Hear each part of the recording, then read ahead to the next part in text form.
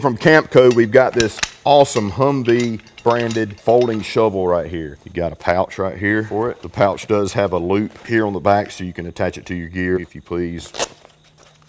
Open that dude up. That's, there's your shovel right there.